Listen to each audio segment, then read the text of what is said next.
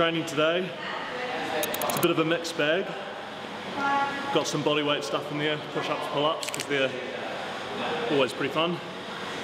Um, outside of that, the main movement, I'm going to be doing uh, deadlifts. Just working on power production really. Um, you know, do some box jumps in there as well. Outside of that, it's just mainly doing some light hip rehab. Um, making sure that, you know, it's not getting too much shit through it really. Yeah, keep it, keeping it simple.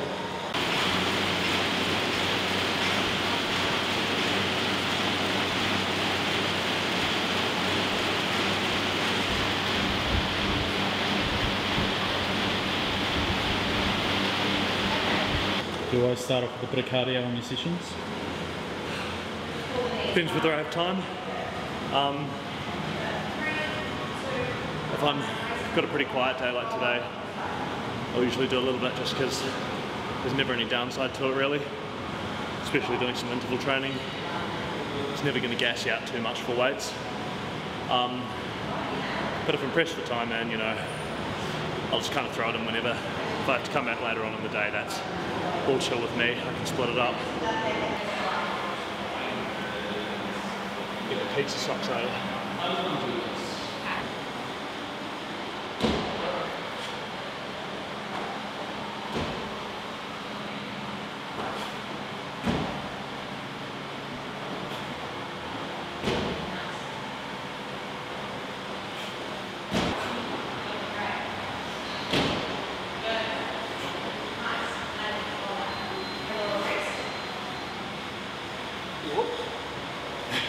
There it goes.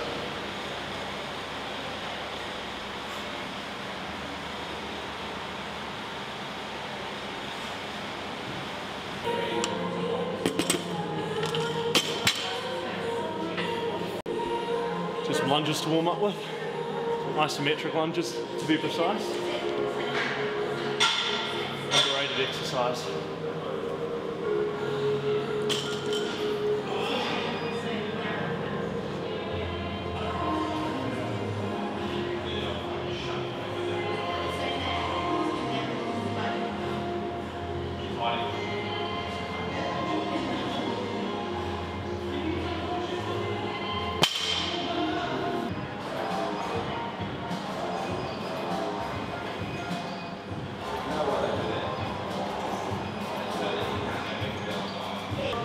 You don't see it too often in the gym, so why do you do that? Um, And what's the benefit of that movement?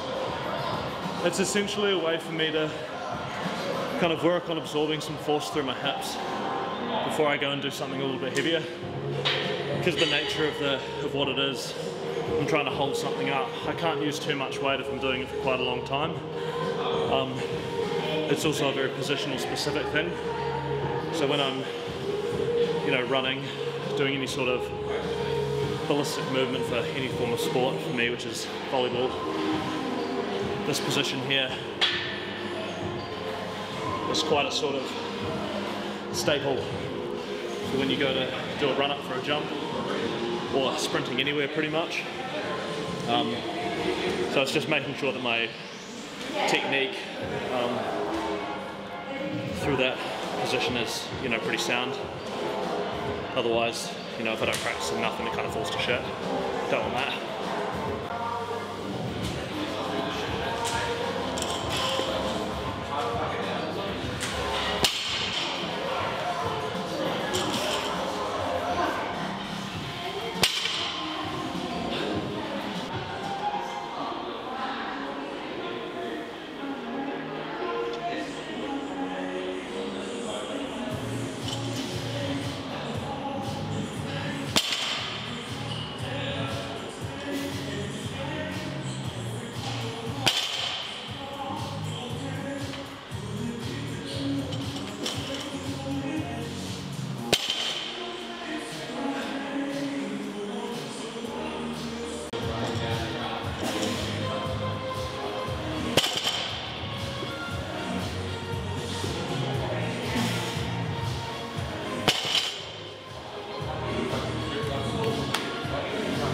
box jumps.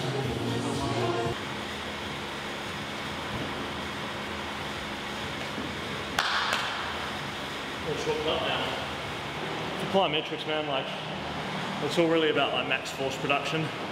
If I do three heavy deadlifts, and then I sit there and do like eight max effort box jumps, I'm just gonna start slowing down after a while. And for your body to essentially adapt to high speed movements like plyometrics, you have to be moving quickly. You know, if I do a box jump I'm like, it's just, just not gonna happen. So keep it short, keep it snappy. It's not really there for fatigue at all.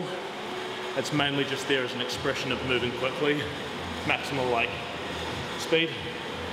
Um, and yeah, I just get too gassed if I do deadlifts and then superset it with box jumps and do like six, seven, eight reps. Try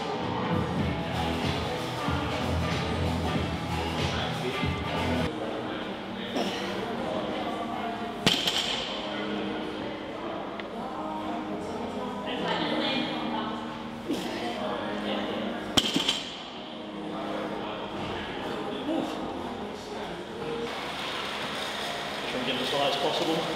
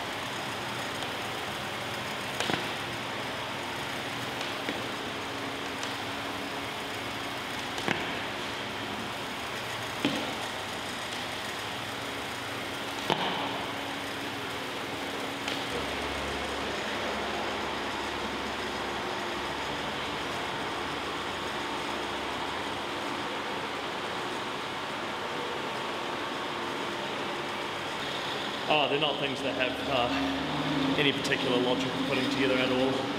Um, it's purely for the purpose of just efficiency and saving time. Um, I like to take good rest periods, especially for something like this, um, because my bad hip takes a little bit of time to recover in between sets. Um, so if I do them separately and have to rest for the same amount of time after this every, every single set, Be spending like 25 minutes on drop lunges. It's more something I want to spend five minutes on. Um, yeah, as far as it goes, there's not really any particular overlap between what muscles I'm using at all. The general um, fatigue that you get induced from each one of these is pretty pretty marginal. Like I can't say drop lunges are a particularly challenging movement. It's more just a technical thing, making sure that all the force that's going up from my foot, knee, up to my hip This is happening in the right in the right way. And then pull-ups are just fun.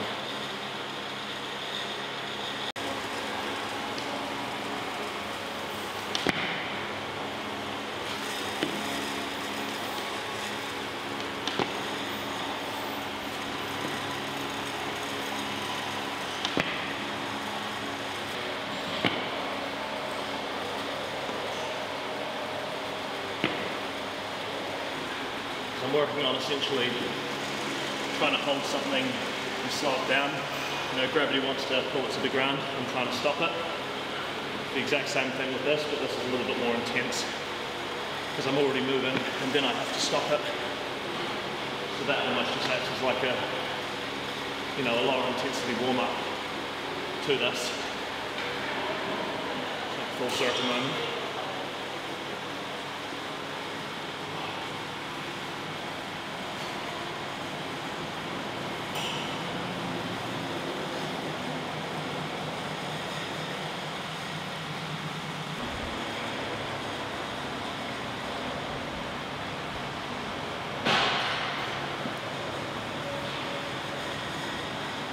For to do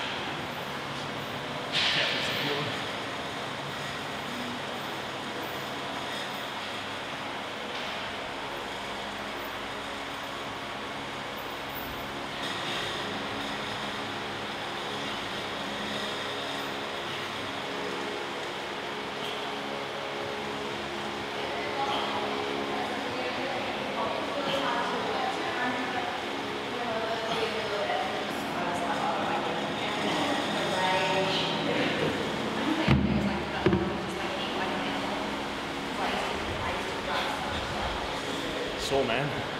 Um, it's a lot of my education from university, um, self-teaching, um, courses I've done, learned from, has all been related to a lot of biomechanics. So I did physics at university before I did exercise science. So I've always had like a wee itch to scratch from that.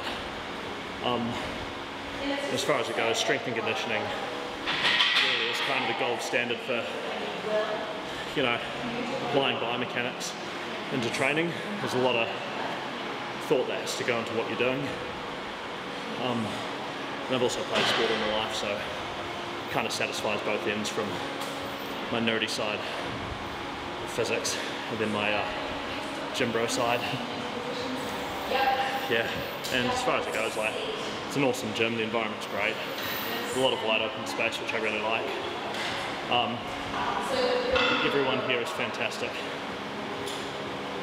Especially you, Connor. um, just coming into my second year of it now, feeling pretty confident for it. Um, just excited to see what happens, really. Yeah.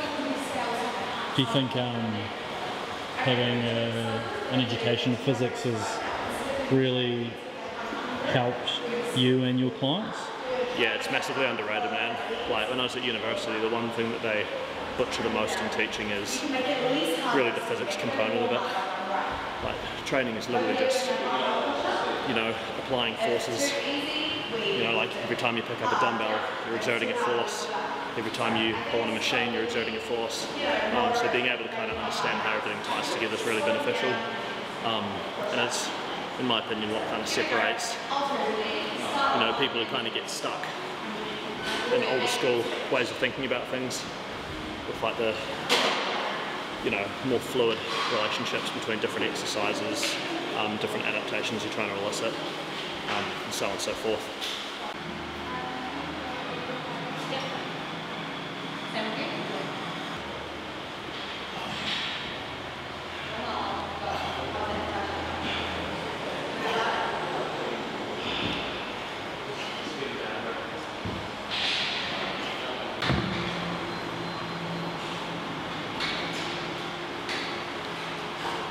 Now, so I say, when I say unplanned with my sessions, I mean I come in with a goal um, and a variety of exercises that I can choose to achieve that goal. Um, so for example, if I'm trying to work on, you know, absorbing force through my hip properly, um, drop lunges are a great way to do it. Um, the yielding isometrics at the start are a great way to do it. Um, there's a ton of other ways. I can do single leg RDLs, you know, you can do B stance RDLs, kind of anything. Um, and depending on how, you know, stupid my schedule is for the week, because some weeks it's pretty sporadic, some weeks it's pretty quiet. Um, so depending on how often I'm able to get in and how tired I am, that'll just completely dictate what I do for that session. Yeah, usually five, six times a week. Um, but then I make sure, of course, I don't do a fairly large number of exercises. I kind of like to keep it pretty simple. Um, you know, achieve a goal and get out. Um, and that way it allows me to train more frequently. You know, when you work in multiple gyms, it's quite hard not to just train train most days. Yeah.